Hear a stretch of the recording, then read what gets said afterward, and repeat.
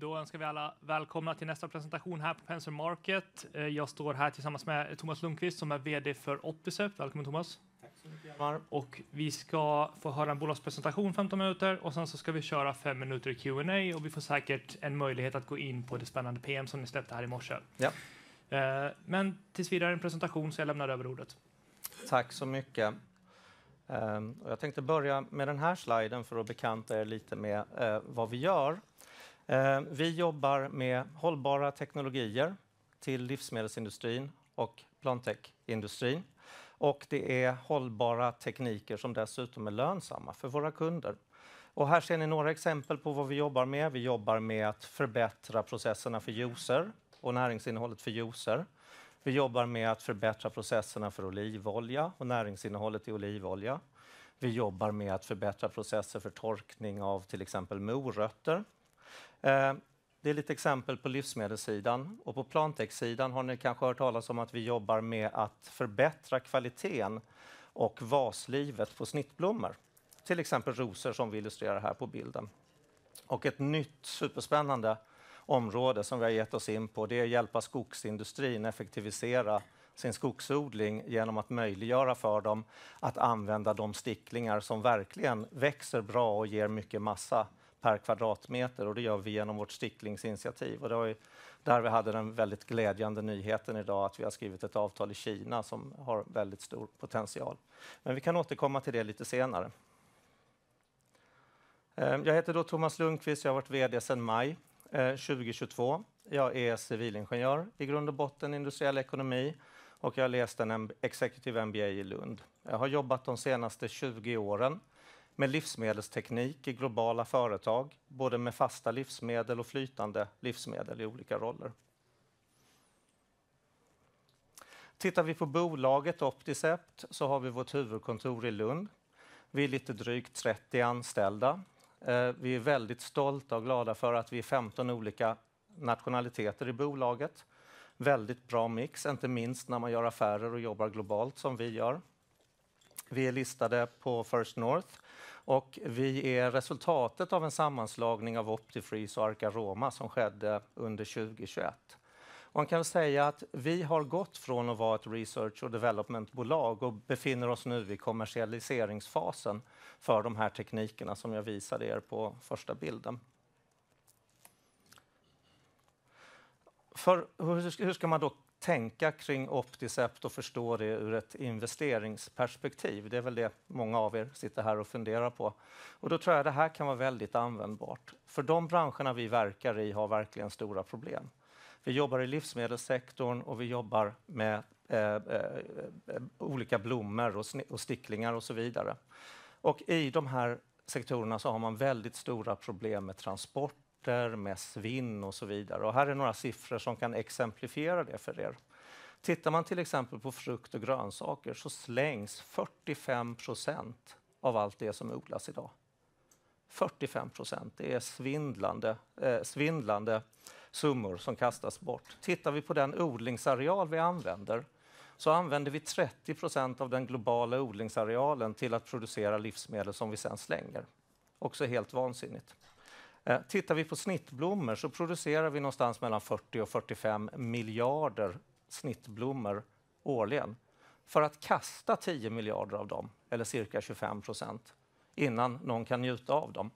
Eh, dessutom så flyger vi hit de mesta, de flesta av snittblommorna också. Vi gör en rätt så stor miljöpåverkan när vi köper en ros. Då vill vi verkligen kunna utnyttja den. 990 miljarder euro kostar livsmedelssvinnet oss årligen. Svindlande summor. Och Inte nog med det, vad gör vi då för att försöka adressera det här? Jo, vi försöker göra våra livsmedel mer hållbara naturligtvis. Vad gör vi då med flytande livsmedel? Jo, oftast så hettar vi upp dem, för då dör bakterier. Så stoppar vi dem i en aseptisk förpackning. Kan man skicka dem i rumstemperatur eller ha extra långbar mjölk som börjar, eh, extra hållbar mjölk som börjar komma i Sverige nu till exempel. Den är upphettad extra mycket för att hålla extra länge. Vad händer när man hettar upp det extra mycket och extra länge? Man förstör näringsämnen, man förstör smaker. Vad gör man då för att kompensera för det? Jo, man tillsätter socker. precis det som vi vill undvika. Så här är också ett jätteproblem vi brottas med. Sen pratar vi också om energikonsumtion när vi tillverkar eh, livsmedel till exempel. Eh, de flesta, många livsmedelsprocesser är installerade under 60, 70 och 80-talet runt om i världen. De behöver förnyas och de behöver effektiviseras. Och sen har vi inte minst transporter. Eh, det är mors dag till helgen. Ehm, för att transportera de blommorna som vi, eh, som vi använder oss av på mors dag så går det åt motsvarande eh, bensinförbrukning till 78 000 bilar. Årsförbrukning till 78 000 bilar för att hantera de här snittblommorna. Så det här är det problemet man ska tänka på när man tänker på Opticept. Det är, det är de här sakerna våra tekniker adresserar och då får man fundera kring vad kan det här ge för möjligheter. Vad gör vi då? Jo, vi har ju två teknologiplattformar som jag kommer beskriva för er lite senare. Men de möjliggör att man kan producera hälsosammare eh, livsmedel vi kan behandla livsmedlet så att vi lättare får ut näringsämnen, antioxidanter, polyfenoler, allt det här goda som man vill komma åt i livsmedlen och som man vill ge de som konsumerar det. Vi kan förbättra effektiviteten i produktionsprocesserna och i transportkedjan. Vi kan förlänga shelf life heter det på engelska, det är bättre än på svenska, men hylllivet för en juice eller vaslivet för en snittblomma så att man kan använda produkten längre eller njuta av produkten längre. Vi kan förbättra extraktionen i en livsmedelsprocess som vi gör med Dole nu i, eh, i, på Filippinerna. Förhoppningen där är att man kan stoppa in lika mycket ananas men få ut mer juice i andra änden med bättre smak och högre näringsinnehåll. Vi kan också hjälpa kunder reducera energin i deras livsmedelsprocesser vi jobbar med en kund i Tyskland som torkar morötter. Han behandlar sina morötter med vår teknik innan de går in i ugnen och ska torkas. Och han har sänkt sin gaskostnad med 20 procent tack vare det här. Och såklart så minimerar vi svinnet genom att vi har en längre hållbarhet på produkterna. Jag har nämnt två tekniker. Den ena tekniken som är applicerbar på livsmedelssidan kallar vi för PEF. Det, där jobbar vi med något som heter pulselektriska fält. Det har funnits ett antal årtionden inom medicin, till exempel för att behandla leukemi. Det är två små titanplattor och ett spänningsfält emellan. Hos oss är plattorna lite större. Det är ett spänningsfält på upp till 10 000 volt och vi pulsar elektroder med väldigt korta intervall och höga frekvenser. Vad vi uppnår då när vi passerar ett livsmedel mellan de här plattorna, det kan vara ett flytande livsmedel eller det kan vara ett fast livsmedel, det är att vi får jonbalansen på in och utsidan av cellmembranet att kommunicera och säga till cellen att du ska släppa ut ditt innehåll. Och på så sätt så får vi ut innehållet i cellerna utan att mekaniskt skada cellerna, vilket man annars gör med, med, med pressar eller man mosar eller man värmer upp för att bryta cell strukturerna till exempel. Det är hur vår SEP-teknologi funkar på livsmedelssidan. På plantech-sidan så jobbar vi med något som heter vakuuminjektion. Eh, och här behandlar vi då snittblommor och vi behandlar sticklingar som ska bli eh, krukväxter eller träd eller så vidare. Och då ser ni här är några tankar. Jag kan gå till nästa slide faktiskt. Här ser ni den riktiga maskinen. Här ser ni de här cylindrarna med locket. Man fäller locket. Man kan sätta ner rosor till exempel. Man sätter ner stammen och bladet. Man sänker locket.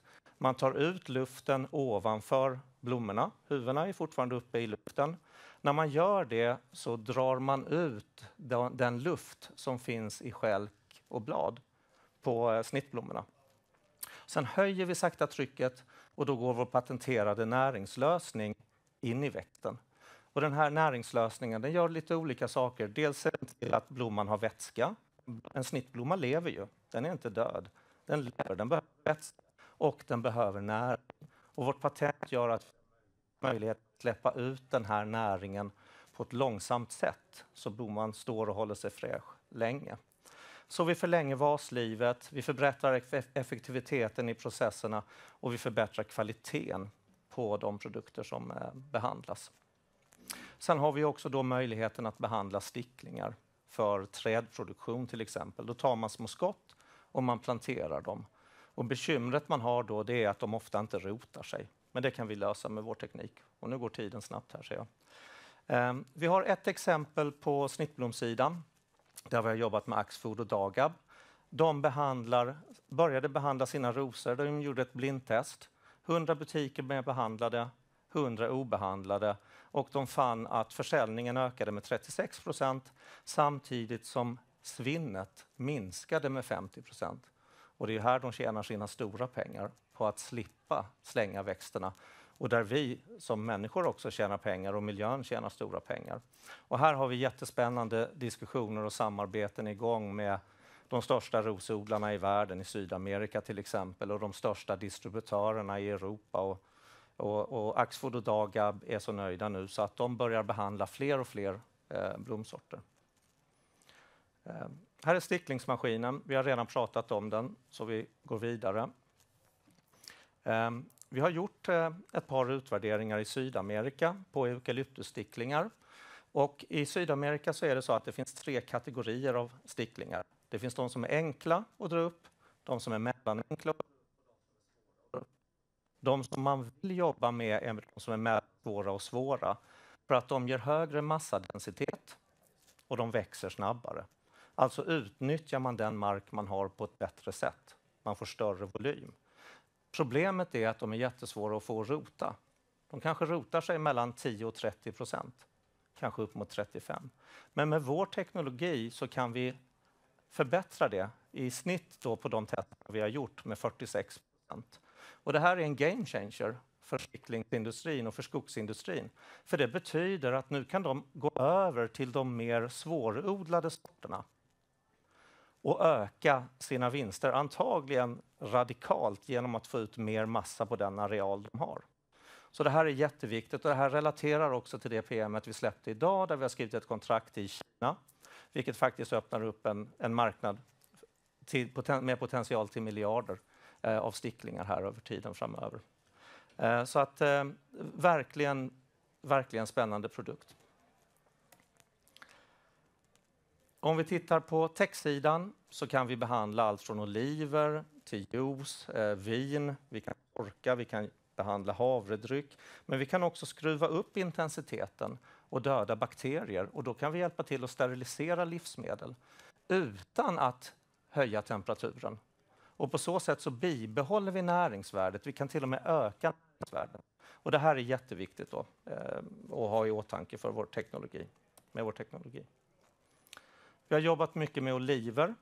Här ökar vi extraktionen, vi får ut mer näringsämnen, vi får ut mer smak eh, och vi för, kan förbättra kvaliteten. Vi har ett case i Marocko, Atlas Oliver, en kund som har installerat maskinen på sin befintliga linje som gör 6 ton i timmen. Han får ut eh, ungefär eh, 10% mer olivolja ur sina befintliga oliver får han ut 10% mer och han får dessutom ut olivolja till en högre kvalitet. Och nu har vi en stor satsning på Iberiska halvön där vi pratar med alla ledande olivoljeproducenter om den här lösningen. Vi har ett antal maskiner installerade och ett bra gäng till eh, på väg här under hösten förhoppningsvis. Vår strategi är att jobba oerhört kundfokuserat. Vi kan använda de här teknikerna på så många områden och det är nästan vår största utmaning kan jag säga. Så vi har valt att fokusera nu där vi är närmast kassaflöden och närmast vinst och det är på oliver på livsmedelssidan. Det är på sticklingar på eukalyptus och det är på snittblommor, framförallt rosor. Där är bolaget oerhört fokuserat och vi jobbar med sju kunder just nu där vi är, där vi är närmst avslut. Och ambitionen är att sätta så mycket som möjligt av det här innan sommaren. Vi har två olika betalningsmodeller. Vi kan antingen sälja utrustningen och ta betalt för reservdelar och service. Det gör vi mest till livsmedelsindustrin. Men vi kan också licensiera ut, ut, utrustningen och det gör vi på Plantex-sidan. Och där tar vi betalt per behandling, alltså per behandlad skälk eller per behandlad stickling. Marknaden vi jobbar på är ofantlig. Livsmedelssidan upp, omsätter upp till 500 miljarder euro årligen. Det är inte vår adresserbara marknad för våra produkter. Men om vi tittar på oliver till exempel så är vår adresserbara marknad 6 miljarder. Det finns 30 000 olivlinjer runt om i världen och skulle alla de sätta en SEP-maskin, vilket de borde göra, så skulle det motsvara en omsättning för oss på 6 miljarder eh, euro. Tittar vi på snittblomsidan så är vår adresserbara marknad 2 miljarder euro årligen och på sticklingar som nu verkar ta riktigt bra fart så pratar vi om en halv miljard euro årligen. Så det ska vara Mm. right on time, även om jag fick stressa lite på ja, slutet. Ja, men jättebra timing. Eh, jag tänkte, du var inne lite på det här, men vi pratar lite om Olivcept. Ni har ju arbetat intensivt med era kunder där och marknadsmässigt är Iberiska halvön väldigt viktig och där har ni varit mycket. Va, vad tog ni med er från de här mötena och vilka förväntningar har ni inför olivsäsongen? Ja, det är ju att eh, varenda kund vi kom till bekräftade att de vill ha tekniken. De, eh, det var till och med någon som sa, vi har jobbat, eh, det var en som sa, jag har varit, jag har varit eh, vad ska jag säga, efficiency director här i 10-15 år och det har inte kommit någon ny teknik för mig att använda. Det här är första gången det kommer en ny teknik som kan göra min existerande process mer effektiv. Så de säger ju liksom, ger det det resultatet som ni säger och vi har sagt från 3% förbättring och uppåt så kommer vi investera. Och det bekräftar de. Så vi hade maskiner ute i fjol och tyvärr så hade vi en, eh, en helkass säsong för att det var ju långvarig torka på Iberiska halvön. Så det fanns tyvärr inte så mycket oliver att köra på.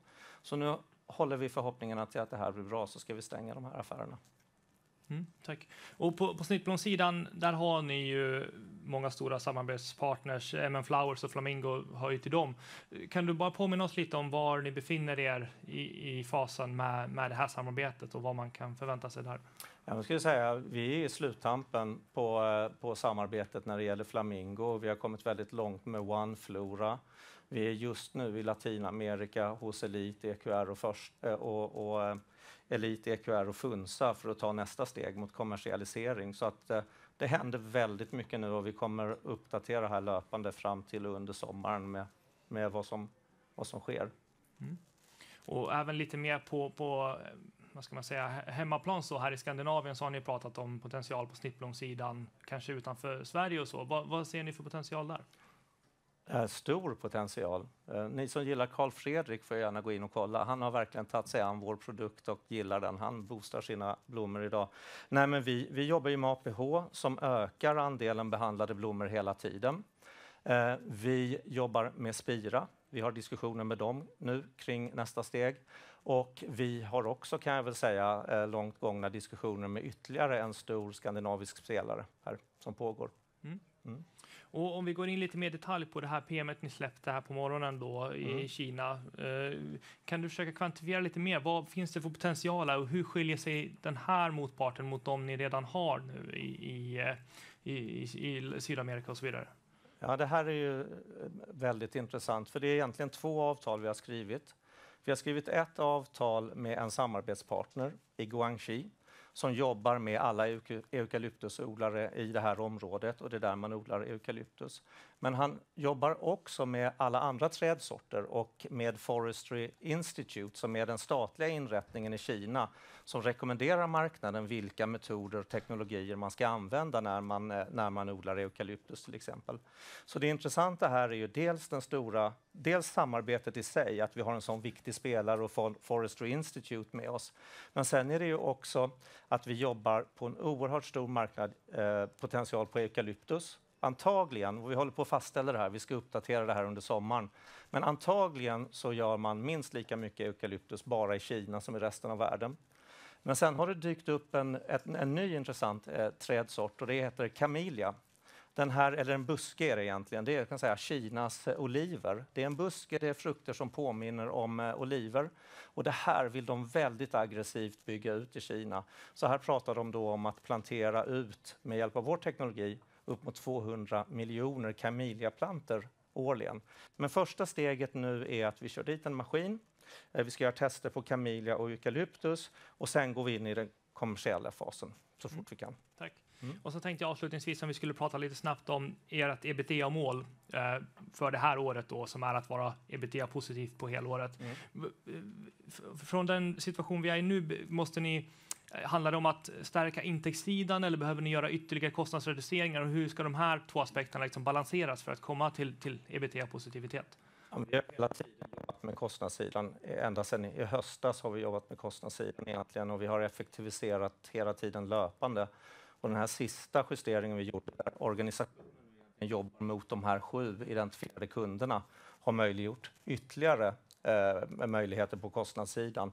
Så där känner jag att vi tar hela tiden steg åt rätt håll. Men det är naturligtvis som du säger, det är en kombination av att hantera kostnaderna och hantera intäkterna. Och vi har ju liksom, vi har ett antal grejer som måste falla på plats här nu under hösten för att vi ska nå det, men det jobbar vi stenhårt på. Superbra. Tack så mycket, Thomas. Tack så mycket.